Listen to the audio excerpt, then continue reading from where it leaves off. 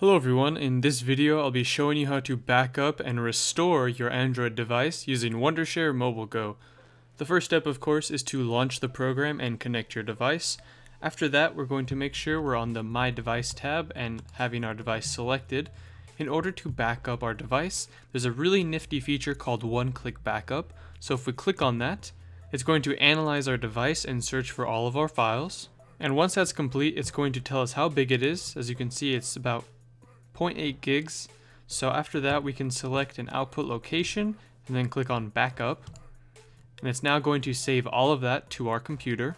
Once it's done, we can click on OK or open the folder where it backed it up. I'll go ahead and open it up. And you can see I have two backup files in here, one of them from earlier this year, and then the one I just created. In order to restore a backup, say for example the one we created earlier this year, I'm going to go ahead and go to the Super Toolkit, and then if we go down here to Essentials, under restore, we can select that.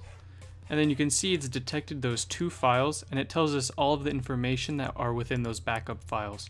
In order to restore based on one of these backups, we just have to click on restore. However, what we can do is clear the data on our device before restoring it if that's what we want to do. In my case, I'll just click on restore and then your device will be restored back to that backup file. I hope you guys enjoyed this tutorial. That is how you backup and restore your Android device using Wondershare MobileGo.